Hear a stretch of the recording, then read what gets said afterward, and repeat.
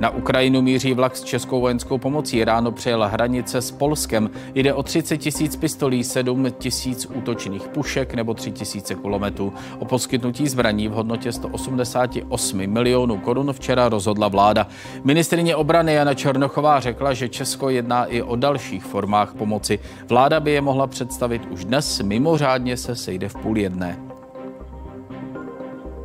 Украины центральный вопрос успеют ли союзники по НАТО доставить на территорию Украины большую масштабную военную помощь. Предполагается антитанковые ракеты, противовоздушные системы.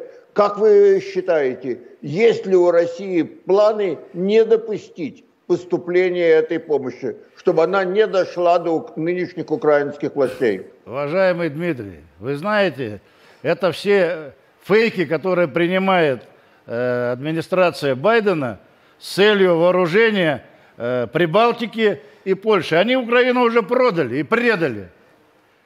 Нанесенные удары огневыми средствами авиации, ракетных войск, э, ракетами с кораблей уничтожила аэродромную сеть Украины.